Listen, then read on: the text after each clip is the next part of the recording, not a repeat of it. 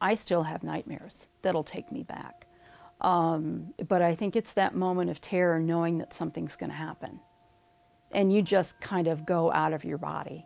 That's what I did. I just left my body and um, I just prepared myself for whatever was going to happen. It's a hit in the head, it's a fall, it's a shake, um, it's colliding with furniture or falling on the ground. It could be anything. A lot of the symptoms of traumatic brain injury and trauma overlap.